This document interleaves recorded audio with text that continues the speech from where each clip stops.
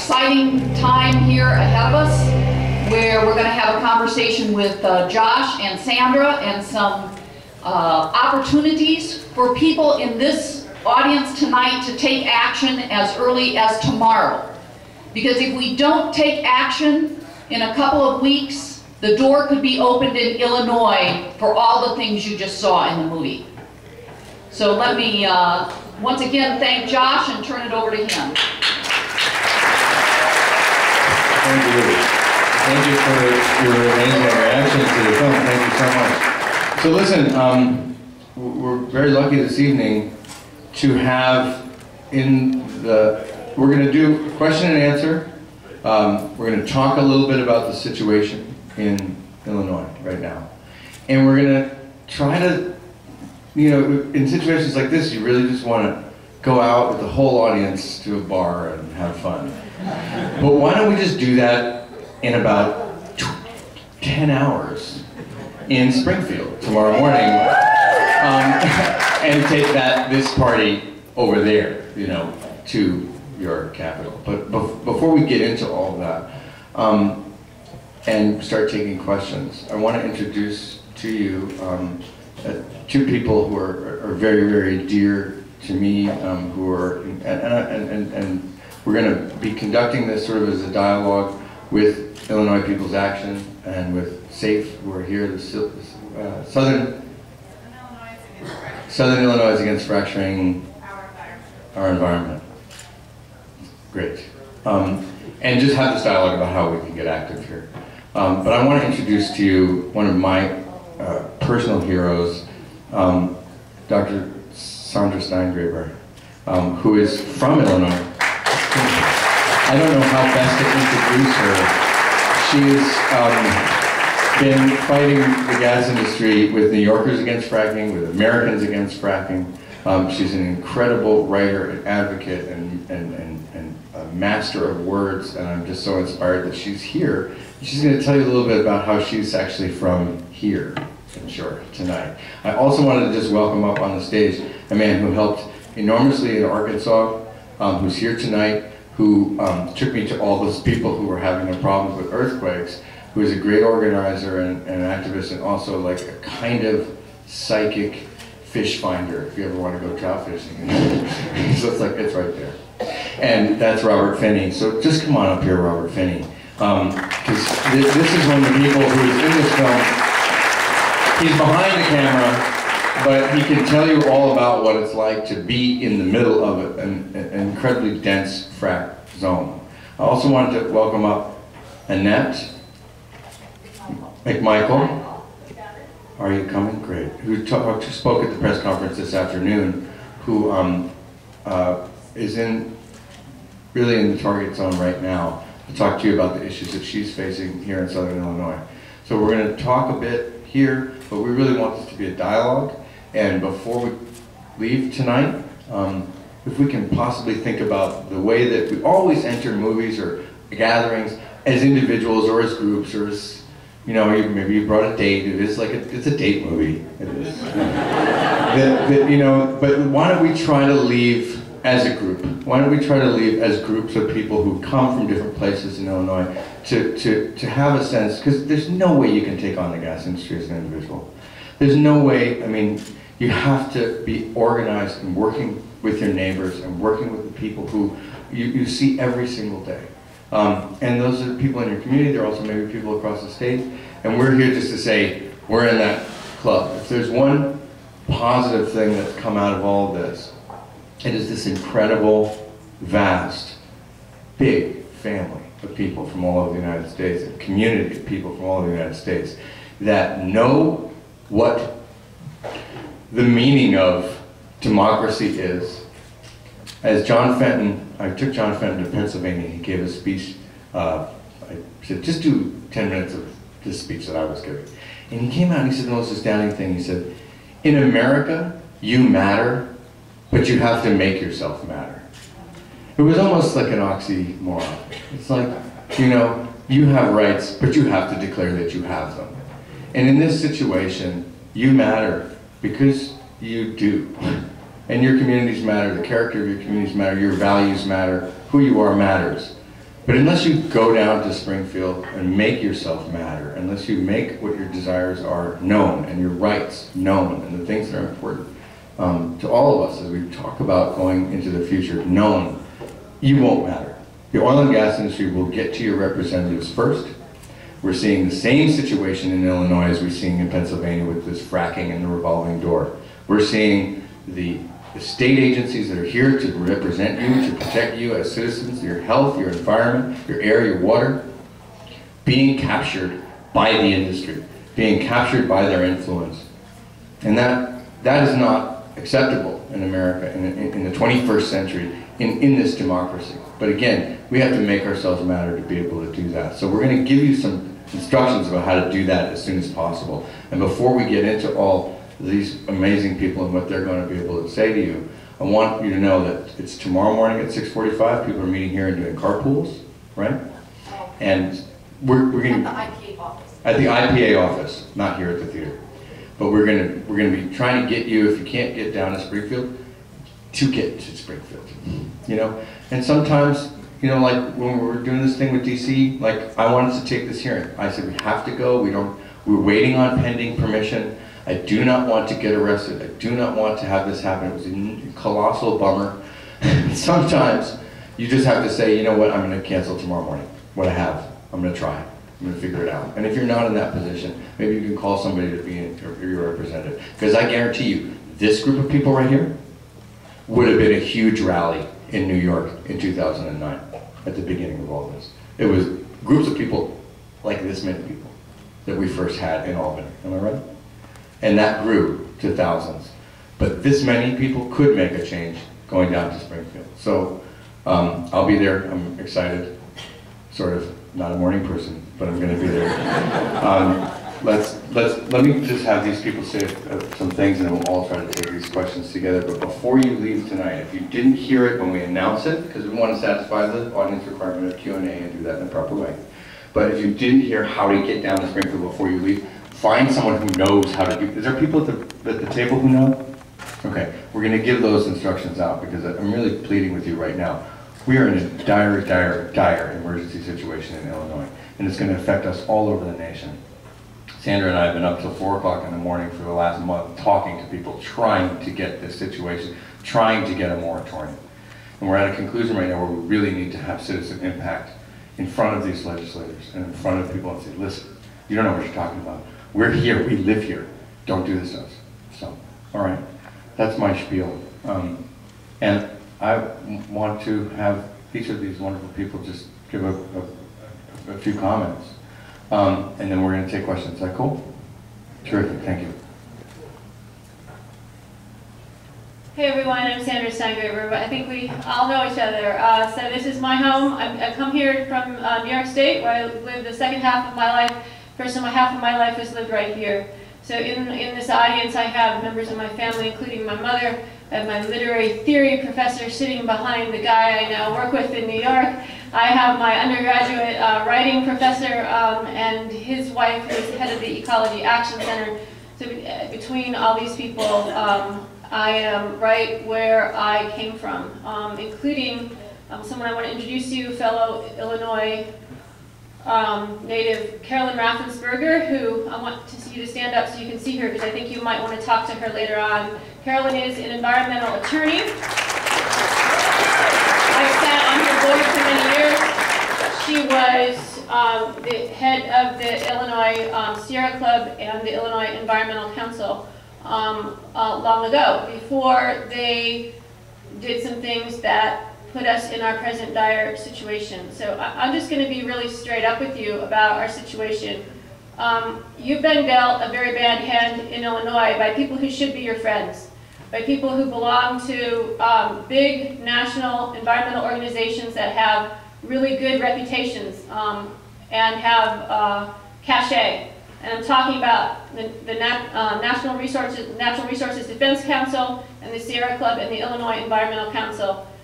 These organizations who did, under the direction of uh, Lisa Madigan, uh, State's Attorney General, is sit down behind closed doors with industry and broker a bill, a regulatory bill that would serve as the starting gun, the green light to bring fracking to Illinois. No one in this room had the ability to be part of those conversations. And so now there's a very bad bill that's being raced through uh, the uh, State House in Springfield, and absent our intervention, will open this state up to everything that you just saw on the screen. So there's no more important thing that you could be doing with your life tomorrow than to come with us to Springfield and stand to say, not in my name, that's not what we want, that's not democracy. The other thing that you need to know is that it's happening differently in other places. So where I now live in New York, not only do we have a voice by having many public hearings, so that when our state attempted to promulgate regulations um, in advance of the science being done, as you heard in the film, we sent 204,000 public comments to the governor's office, pointing out everything that was wrong with that approach and everything that was wrong with these regulations. Um, and in so doing, we, we buried those regulations. They're, they're now dead. Um, and, and we did that through citizen action. The regulations that we killed off were actually better regulations than what you have here. So you've been dealt a very bad hand. Um, but all is not lost. Um, that's what they told us in Illinois, in New York. Um, we refused to believe that that was the case. Um, and, um, and so we fight on, and our story isn't over yet. Um, but I think for me, fighting in New York, it's not just that New Yorkers have this kind of no fracking way attitude, right? you have some of the same determination and perseverance that we have in New York. And I feel like I'm animated every day by things that I learned here in this state. And some of you were here with me a couple years ago when my story of being a cancer survivor in the film Living Downstream was shown on the same, the same theater to the same packed house. My favorite line from that film um, is from my mom, who I think stole that scene, when she said, as a cancer patient, we, my mom and I were, you know, I was adopted, we're not genetically related, very close emotionally. We had cancer at the same time together. She was in her mid-40s, I was 20. And in the, during those dark days, the one thing that she always said to me was, don't let them bury you until you're dead. That was my motto of my mom. That became my motto. And I think about that every day when I'm out there fighting the gas industry. Um, you're not dead. This bill hasn't passed, and as long as it hasn't passed, there's a chance for there to be hope. So my message tomorrow in Springfield will be as a biologist. And what I would like to say, and what I'm going to say tomorrow when I testify and when I speak at the press conference, is this. You cannot regulate something when you don't know what you're regulating. We have never done the science to know what environmental impact this will have on Illinois and what health impact it will have on all of us. We don't know what people are exposed to when you frack. We don't know by what routes of exposure um, you're exposed. So how can we come up with a set of rules to mitigate all this and claim that these are going to be sufficiently protective when we don't know what you're being exposed to and we don't even know what we're protecting you from? So until you do the science to find out in places where fracking has unfortunately already unrolled, do a, a comprehensive health impact assessment on, um, on in states where fracking has already happened you are conducting an uncontrolled human experiment on the population of Illinois. And that's still wrong. That's still wrong. So that will be my message tomorrow in Springfield, but each of you has a message to bring. And this is, the, this is what I always say when I exhort people to get on the bus with me to go to Albany. You know, Albany is a big state, just like New York, uh, Illinois. It's eight hours from New York City to, to Buffalo. So ask people to come to our capital, which just like Springfield is right in the middle of the state, we ask people to get up at 3:30 in the morning and get on buses with us. And what I often say to people is there's no more important job than you can do right now than to protect your air and your water and your health and your children's future. So I want you to get on that bus with me. And the only thing more important than you might have to do is if you have a chemotherapy appointment. And if you do have a chemotherapy, use the hand that you're not hooked up to your chemo drip to write a letter to your governor. That's the serious uh, uh, commitment I expect from the citizenry, because that, if we don't have that kind of fierce resolve, we're really not going to win. But when you're a cancer survivor, you bring that kind of fierce resolve, and all of us in this room have that somewhere, and that's what I really urge you to join me tomorrow in Springfield, and, and, and we can win this, but it is the 11th hour, and we're fighting from a very bad uh, situation, and we need to turn it around, and we, and we're gonna go all out to do this. So I'll see you there.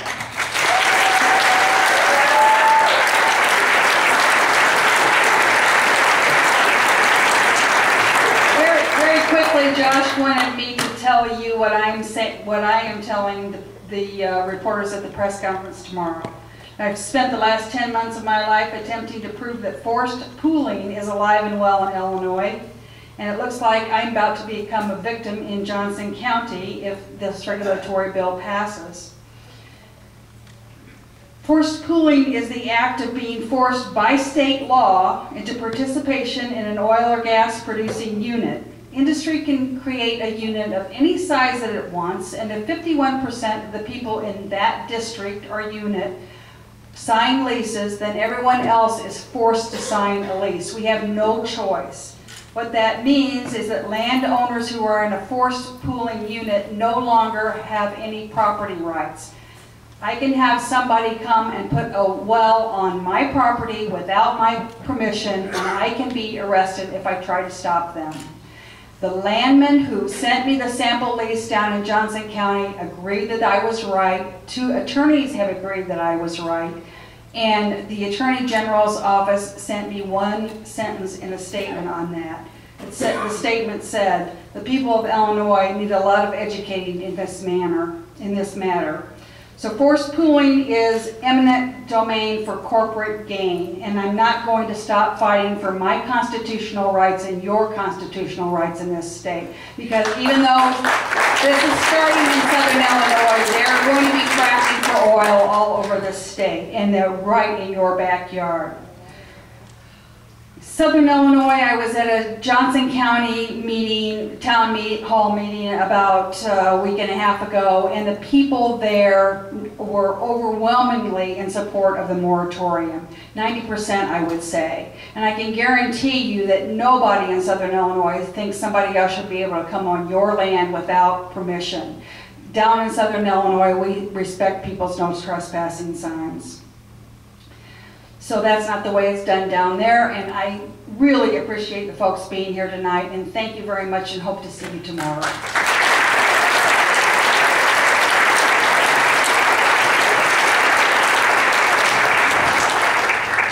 Hi, I'm uh, Robert Finney. Um, in Arkansas, we had no idea what was coming. We actually thought there was going to be a pipe out in our field that was going to mail us a, a, a nice fat paycheck every month. And we didn't know anything about pipelines. We didn't know anything about frac pits, compressor stations, uh, just all of these things. And they just kind of rolled in on us, and here we, here we are. And the deals with the state legislators and, and the national legislators, those were all made a long time before we ever found out anything at all. I mean, they already had everything in place, and y'all are at a point now where you need to get out and do a little bit of activism, even if it's Facebook, Twitter, talking to your neighbors. Um, go outside your comfort zone, start going to some permit hearings. Ask questions, send your legislators emails or, or even paper mail and tell them how you feel. Because otherwise they're gonna say, well, everybody said, you know, we want this. If you don't tell them that you don't want it. So just get out and do something, and that's all you can do. And make some noise. Okay, so before we take a few um, questions, I'd like to ask Dawn, you have some procedural matters, right, about tomorrow and, and details. So uh, I think, did everybody get one of these sheets? Or we have some of these people with sheets? Have these been passed out yet? No. Okay, Okay, can you, um, let's pat, down the aisle? Wait, Maybe I'll, maybe I'll do a first question while we're passing these sheets out. These are gonna give you information about tomorrow and information about um, what's going on in the state of Illinois uh, with the strategy, I guess, isn't that right? And the, and the hearings for tomorrow. All right, here's a question right there, the blue shirt.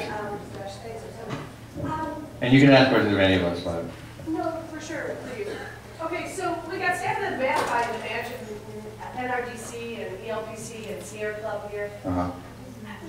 Tell us the other states where they did this, where they went into the back room with the industry and negotiated a deal and, and offered them. Oh, man. All right, so the question is, the question started with a statement. We got stabbed in the back by EOS, EOS, In NRDC. NRDC, ELPC. ELBC, and Sierra Club, the big environmental organizations. And they are in fact um, participating in this process of creating regulations, which both Sandra and I believe are totally unsupportable from the standpoint of morality, from the standpoint of science, from the standpoint of all the reporting that we see. And unfortunately, yes, it's true, we may face a battle also against the big greens, not just uh, the gas industry. And we have been doing negotiations and trying to get them to move off of that for about three and a half weeks. You know, or more than, actually a lot longer than that in some cases. We're outraged about it. And we find that, you know, there is no reason why that should occur from the standpoint of science or morality. What they said to us, I will tell you, or to me, there isn't a significant grassroots movement in Illinois against fracking like we have in New York. In New York, we were able to pressure those organizations successfully and work and do this sort of dance with them, where we were saying we need to have a ban, and then they would come and help with some kind of a delay, and then we would have a ban, and they would do a delay, and they would ban. And the people in New York and NRDC and Sierra Club were actually quite brilliant about helping us with that. And we had space to operate. You want to know the answer? That I, I do not know what's going on in their minds. I know that I can't support it. And I do not know that they are, that they won't lose their credibility as true environmental organizations in Illinois doing this, and maybe nationally. Um, I'm very, very upset with it. And, you know, what is the logic? What is the reasoning? We don't know. Where have they done it elsewhere? Well, here's the thing. The fracking movement came along concurrently with this vast threat across America. I was one of millions upon millions of people getting that knock at the door. The first film, it's a great, nice film that I like, I made it. But Citizen Kane couldn't have made the movement that we're seeing right now. The movement is because this is a crisis. And it's because it's invading people all over the United States. And I think that gave a new life to a lot of organizations that needed clout and needed people in the streets to get wise and go out there and do things. And that invasion of people has created an opportunity for us to insist. And where we can insist, we, we must. You know, because look, as a member of a frontline community myself, I know that no amount of regulations would help me with a well pad on the other side of that stream. I know that there would not help at all, because I know this industry cannot be regulated. I know that there is no way that you can make this kind of drilling and fracking safe from any standpoint, whether it's groundwater contamination or air pollution or health crisis or workers. I know that regulations do not comfort me. In fact, we threatened to take over with the huge act of civil disobedience that we had 10 or so thousand people signed up to do in the Delaware River Basin. We won in the Delaware River Basin because of that threat. I know that we did. So what we're talking about here is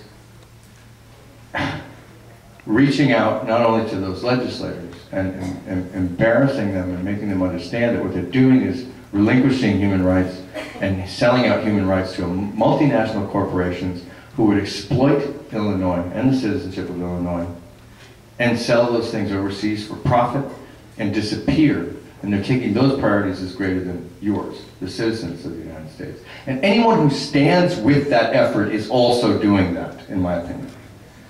And, and it's hard for me not to get passionate and emotional and, and, and upset about it. But the truth of the matter is, none of that really matters. What matters is that we exhibit a different level of democracy here. And you know, we have a plan tonight.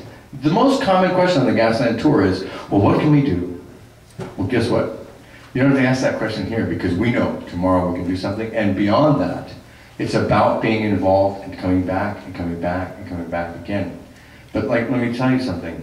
It's one of the more meaningful things I've ever done in my entire life to go out there and encounter true American pride and spirit and patriotism and, and community. These things that you don't think exist anymore. Everybody's talking about, oh, we're always looking at our phone, we're always looking at the Facebook, we're always looking at, well, we don't have community. Well, guess what? In the fracking movement, we have something real, and it's very exciting and it's wonderful to be a part of. So even though your back's against the wall and you're taking on the largest corporations in the history of corporations, there is something very, very positive about that experience. So I, we want NRDC and Sierra Club and the other one that you mentioned to get with the program or get out of the way. Because they're taking that seat at the table, to be honest, and we need to be sitting there. And, I, and if anyone wants to elaborate on that, okay, now we have these things signed up. Right. Okay, uh, one of the things that we're talking about tomorrow is fighting this bad regulation bill down in, uh, in Springfield and standing for a moratorium. So you all got a handout on a sheet of paper of some things you can do. So uh, Illinois People's Action Office is at 510 East Washington Street. It's the old Bloomington Junior High. Before that, it was the old Bloomington High School. Meet in room 205 at 6:45 in the morning if you don't have a ride. If you've got a ride and you, you can organize that with the people that you're sitting around and you can come to Springfield, you can meet in the Capitol in room 114 at 9 in the morning for the hearing. So the first thing is the hearing at 9 in the morning that Josh and Sandra and other people in this room are signed up to talk at. This is important. The second thing, at 10 o'clock, assuming the hearing happens, because lots of times they'll poll them at the last minute, but assuming the hearing happens and we can testify, at 10 we're going to have a press conference. And you'll get to hear, again, some of the people here, plus more people, grassroots people on the ground. Folks from Chicago, folks from SAFE in, in southern Illinois, folks from central Illinois. We're all working together to stop this. So come and show support. And then the third thing you can do is you can go home tonight and register your opposition to this bad bill. Now, unfortunately, when we wrote these instructions, which are very complex, we left out an important step. So everybody get your pencil out of your purse or your pocket right now, and we're going to walk you through just a couple changes so that you can register your opposition. If you're going tomorrow, you can do this in person. It's called slipping uh, opposition. You know, we're not going to slip support for the bill. We want to oppose it. So, but about two-thirds of the way down the sheet you just got, where it says scroll to page two and find SB 1715. Can everybody find that on your sheet? Okay. What you need to do is actually, there's two lines. One says SB 1715, and then underneath it says SB 1715-HCA-1. So add on your sheet, look for HCA-1. That is the bad amendment that they wrapped this entire bill in. They, they're sneaking it in under the carpet. What they did is they, they passed a shell bill out of the Senate. They moved it into the House. They put this amendment on the shell bill. And what the amendment is, is this entirely bad fracking bill that's going to open the door for fracking in the state. So you're going to look for that. Then it'll tell you how to fill out the form. And uh, so where it says fill out the form, then there's a Roman numeral 1, 2, and 3. Three, it says your position on the bill. IPA is recommending opposition on the bill. What you need to do there is to select, once again, HCA-1 to indicate your position. Not just the whole bill. It's the amendment that we really want attention to, HCA-1. And we hope that you will represent uh, that you oppose this bill. And as I said, you can do this in person, and we hope that you will come with us tomorrow and stand with uh, all of us here, and let me turn it back to Josh. Thanks for your patience. Dawn, Yeah. you can't, I couldn't understand what you were saying, HBA dash one, would you be more clear about that? Yeah, just look for the letters H, C, C, A, H, C, A dash one. Those, that's the letter that you're looking for. thank you. Okay? Thanks. All right. Um, let's take another question for my- myself or, or for Sandra. Right here, sure. I'm going to do further back. Sure. One of the concerns um, that I think a lot of us are having is the, we're, we're eagerly. and just tell everybody. Okay, so we're eagerly awaiting this EPA study, right? We're all, we've got our fingers crossed and our toes crossed that this EPA study's gonna come out and we're gonna say, see, we told you so. And then what, I'm getting the feeling here that we're not gonna be covered under this EPA study, so we got nothing protecting us. Don't know about, E- the question is, the EPA study is coming out soon, a lot of things uh, legislatively, a lot of arguments get tied to the EPA's uh, groundwater study. Um, What I've found, and things reported more extensively than we can cover in a two-hour film, is it's true, EPA, it has um, uh, exhibited a willingness to bend to industry um, and alter what they're doing. We don't know how, um, and we've had to fight a lot of those battles. Tony Ingraffea has been in touch with Glenn Paulson, who is the science advisor of EPA about these cement issues, and he has given presentations. He was one out of seven people on a panel to give those presentations. A lot of the rest of them were industry. So, you know, here's what we know, what we do know. Here's what worked, right? We keep saying this over and over again, but it's really the only thing. Where we have a, a chance is in creating this democratic movement and insisting. You know, in New York, we got a regulatory regime, the first one, the first draft environmental impact study, actually had a chart in the middle of it, which was um, like a pie chart, and at the bottom of it, it had a Chesapeake logo. It was from the gas industry, it was literally put inside of the regulatory bill. And it showed the influence. And I pointed it out during a public hearing. I said, you guys are as bad at proofreading as you are at writing, writing regulations. You left the, the logo in. It's on page 804. You know, there is, there, there are people up all night